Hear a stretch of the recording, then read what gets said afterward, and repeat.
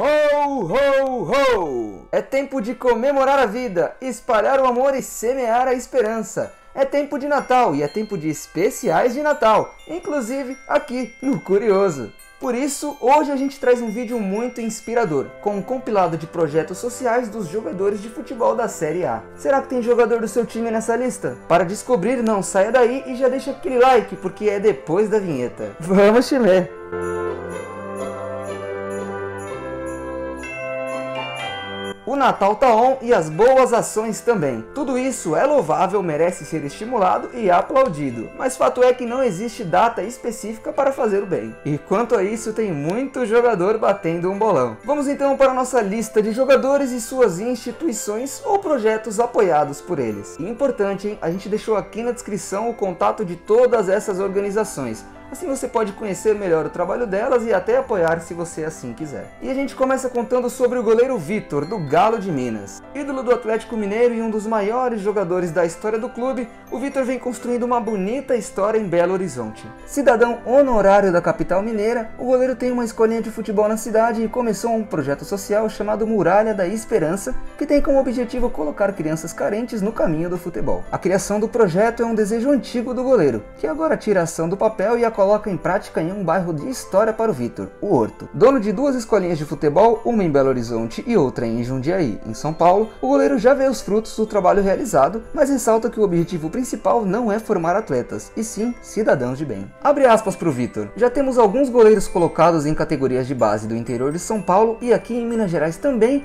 para participar de testes e treinamentos. Esse é um dos objetivos, não é o principal, como falei. O principal é dar uma vivência dentro do futebol e, acima de tudo, formar cidadãos de bem, tirar jovens das drogas e das más companhias. O futebol e o esporte são sempre meios de socialização e de criar disciplina para fugir de um caminho tão ruim. De Minas, vamos para a Bahia para falar do volante Gregory. Em meu isolamento dos últimos meses, o volante Gregory se tornou embaixador de um projeto social na Bahia, o Desabafo Social, que tem o objetivo de ajudar pessoas na periferia de Salvador. Estou muito feliz de poder estar ajudando quem precisa e também com a parceria. É um projeto muito sério que ajuda as pessoas que realmente necessitam. Acho que devemos ter essa iniciativa porque há muita gente que precisa ainda mais neste momento, comentou o volante do Bahia. O Desabafo Social é um laboratório de tecnologias sociais aplicadas à geração de renda, comunicação e educação. O grupo diz ter conseguido neste período difícil de 2020 mais de 100 mil reais para ajudar mais de 1.500 pessoas, distribuindo uma renda entre 60 e 200 reais por pessoa. Da Bahia, vamos para o Rio de Janeiro para falar do diferenciado dentro e fora dos campos Honda, do Botafogo. A relação entre Honda e Botafogo envolve resultados extra-campo que os dois pretendem alcançar. Mas a influência do meia no Brasil vai muito além do esporte. Desde que chegou, o japonês se mostrou preocupado com questões sociais e, principalmente, com o acesso de crianças à educação.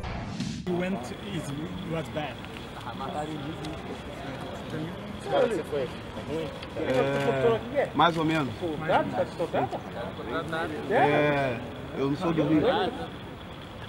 Vem. Cidade de Novo? Já falei pra ele. Aprendi a ler, minha figura. Dois mais dois, quatro. Pra gente fechar. A realidade cruel de muitas crianças nas ruas do Rio de Janeiro chamou a atenção de Honda e começou a olhar para a situação com vontade de mudá-la. O assunto foi destacado pelo tradutor do jogador Jean Abreu em entrevista ao canal do YouTube Brown Fogo. Indo para os treinamentos, no caminho ele vê os meninos na rua e fala o tempo inteiro que isso não está certo, que era para estarem estudando, que deviam ter o um mínimo de educação e condições básicas. Aí no primeiro dia de treino do Matheus Nascimento foram apresentar os dois e a primeira coisa que o Honda perguntou ao Matheus foi como ele estava na escola. Além do Japão, o Honda passou por Holanda, Rússia, Itália, México e Austrália antes de chegar ao Brasil. Nesses países, o meia alvinegro também teve atuação importante fora de campo, como destacou quando foi anunciado como reforço do fogão. O japonês é ativo fora dos campos, seja no mercado ou em atividades filantrópicas. No futebol é dono de dois clubes, um em Uganda e outro no Camboja, e de diversas escolinhas espalhadas pelo planeta. Fora do mundo da bola tem companhias, aplicações e participações em fundos de investimentos. Em 2018 comecei a jogar em outros países e vi crianças e pessoas em situações lamentáveis, portanto quis ajudá-los. A gente agradece, Honda, você é brabo. Outro que é brabo é o Eduardo, do Ceará.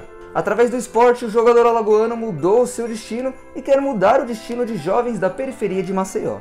Para isso, o lateral direito inaugurou o projeto Craques do Futuro no campo do conjunto Rosane Collor. Quero retribuir o que conquistei através do futebol com as crianças da região onde eu cresci. A ideia é mostrar a força transformadora e educativa do futebol, disse Eduardo. O projeto Craques do Futuro é uma escolinha de futebol que atenderá inicialmente crianças a partir dos 6 anos de idade e adolescentes até os 16. O objetivo é oferecer a prática esportiva por meio do futebol como uma forma de tirar crianças e adolescentes da ociosidade e assim impedir que sejam vítimas da violência. O futebol também servirá como um complemento educativo e um novo meio de lazer e de estímulo à disciplina, explicou Eduardo. De acordo com o jogador, olha só que legal, o projeto tem o objetivo de aproximar os jovens de suas famílias. Trabalhar com crianças a partir dos 6 anos de idade faz com que os pais se engajem, se envolvam e estejam mais presentes no dia a dia dos pequenos, trazendo-os para os treinamentos na escolinha, disse o atleta.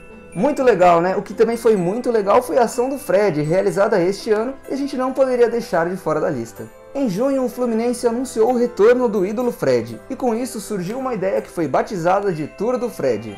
O jogador mandou benzaço e fez o trajeto BH-RJ de bicicleta.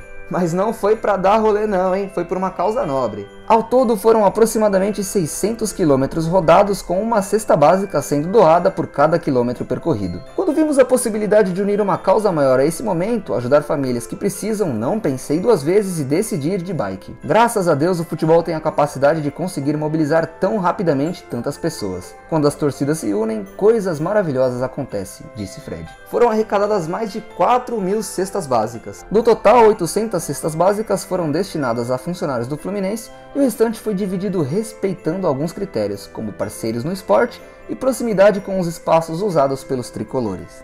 Agora é hora de falar do Edson Carius, jogador do Fortaleza que hoje está emprestado ao Al Jabalain, da Arábia Saudita. O atacante fez um golaço fora de campo. Isso porque o atleta anunciou este ano um projeto social voltado às crianças e adolescentes de Carius, sua cidade natal que fica a cerca de 410 quilômetros de Fortaleza. Localizada na região centro-sul do estado do Ceará, a pequena Carius não conta com grandes cuidados aos mais necessitados. Edson conhece a situação local e resolveu criar um instituto. Vivemos em um tempo que é muito difícil. A minha cidade tem sido difícil, sem o apoio, sem pessoas que pensam nesse público.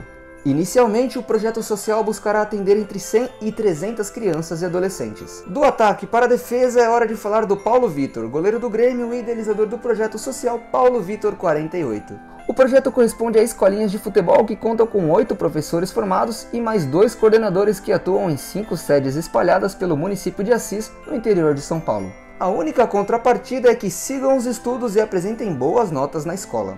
A intenção é tirar as crianças da rua, dar uma ocupação a elas para que cresçam sabendo competir e ter respeito. Fizemos de coração, diz Paulo Vitor. Do interior de São Paulo, vamos para a capital. Os atacantes William Bigode e Rafael Veiga do Palmeiras são padrinhos da ONG Baluarte, que atende mais de 250 crianças no bairro de Capolo, um dos mais pobres de Luanda. William e Louise, sua esposa, são padrinhos da ONG desde 2017 e não conheciam o projeto pessoalmente até a visita que aconteceu em dezembro de 2019. Já Rafael Veiga, que é amigo de Bigode, se inspirou nele para virar padrinho das crianças e também viajou para conhecer o projeto de perto.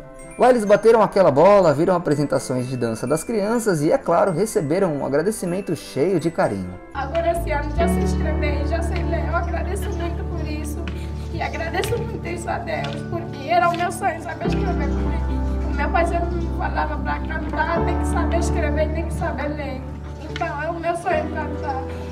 Agradeço muito a essa escola, agradeço muito a Deus. Primeiramente agradeço a Deus. E falando em agradecimento, o nosso vídeo vai ficando por aqui e a gente agradece a sua audiência, além de agradecer ainda mais se você puder contribuir com uma dessas instituições ou alguma outra de sua preferência. Lembrando que o contato das instituições aqui citadas estão na descrição do vídeo. Se você gostou do vídeo, deixe aquele like, se inscreva no canal e ative o sininho. Aproveita que ainda é de graça. Que você e sua família tenham um ótimo Natal e, é claro, um 2021 abençoado. Até o próximo vídeo e vamos ver!